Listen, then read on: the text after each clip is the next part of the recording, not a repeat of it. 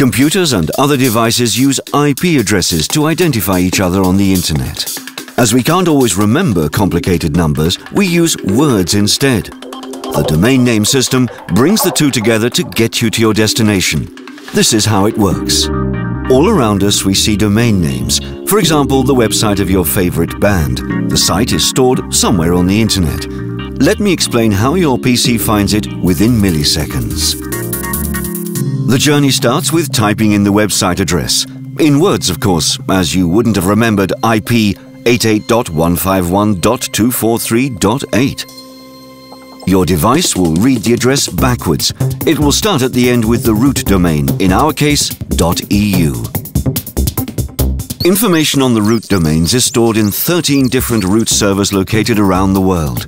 In reality, there are numerous more copies of each of these machines in different locations to make sure that whatever happens, the system will keep on working. A root server contains the information on the name servers for the different zones. In our case, it tells us where we can find the information on addresses ending with .eu. Again, for reasons of security, there are a number of these .eu name servers located around the world, so that if one is too busy or stops working, for example, due to an earthquake, the information would still be reachable elsewhere.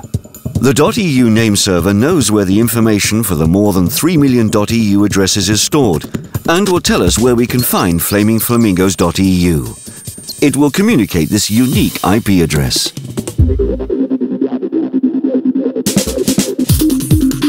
The IP address for the Flaming Flamingos website is now identified and sent to your computer.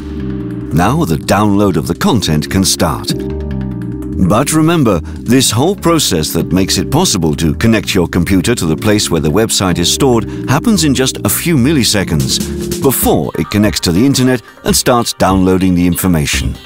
In reality, a lot of information is stored along the road in the so-called cache memories, so that the information can be retrieved faster than having to return to the root every time. This movie is brought to you by CENTR, the organization of European country code top-level domains.